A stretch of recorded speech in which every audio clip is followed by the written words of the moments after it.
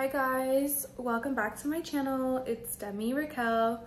I'm making this video for all of my lip lift video, I mean, all my lip lift girls. I've been getting so many messages. You guys want an update.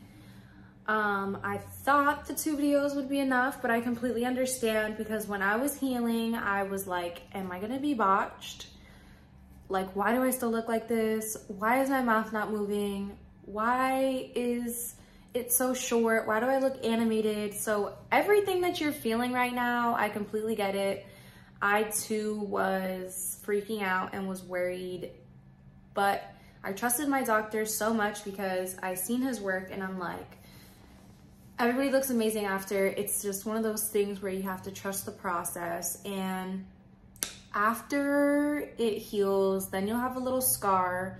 So I do recommend the laser treatment. I did it about three or four times and I hate it, but it's something that you have to do. And the only reason I hate it is because you can't, like you can put makeup on it and I do, but it's just so crunchy that it looks like flaky during that time. And it's for like a week and a half, almost two weeks of crunchiness under your nose. And I'm just the type of person that I'm like, everyone can see it. Like, uh, people are gonna think I don't know how to do my makeup because it's all crushed, like crunchy, like uh, whatever. I'm just in my head. So, but it's 100% worth it. You should definitely do it because when it does heal, then the scar is gone. And that's, you know, obviously what we want ultimately is for it to look as natural as possible.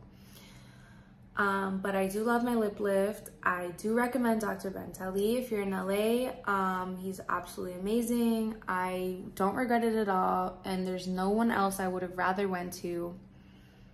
My lip is mobile. It's moving. I even was able to do lip injections after it healed. I don't recommend lip injections anymore. I'm so over the fillers. They always migrate. I had them and they literally migrated here, they migrated here. Once you get your lip lift, you don't even need them anymore anyways because your lip like flips and it's just amazing.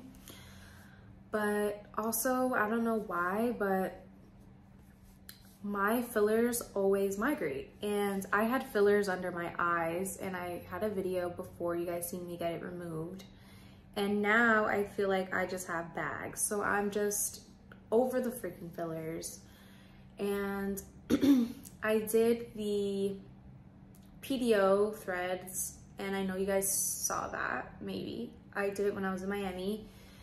I don't even recommend that honestly because it left me with two scars right here and they're dark so I have to constantly put bio oil on it for it to lighten up which it has exponentially. Like it's barely there but it's like still there and that bothers me because it's like, I want to wear no makeup. I don't want to wear makeup to hide it. And I got that thing done like a month or two ago and I still have dots. I'm fine now. Like, I don't mind being without the makeup, but for a while I was kind of annoyed because I had two like dark dots right here, like symmetrical. And it's like, those can't even pass for beauty marks. It's like, what, what is that? So over the fillers, over the, just over it. Like, I don't know what I'm into right now, but when I get some new treatment done, you guys will definitely hear about it. The fillers for me just migrate and I can't do it. Um, I didn't like the threads because of the scar. I felt like I couldn't even enjoy the threads because I was, all I was focused on was the two dots. But yeah, let me think of some other lip lift questions that you guys asked. The healing is like your y'all's like most asked question and you just have to get through it. It's a tough, long journey. But once you get there, it's so worth it. Like, look how normal I look. I was animated for so long. Once I thought I was at the end, so this is crazy. I was at the end, right? Finally, I was had a small lip, right? Like it had gone down, like I looked normal in my eyes and I was doing photo shoots like that and everything and I looked like a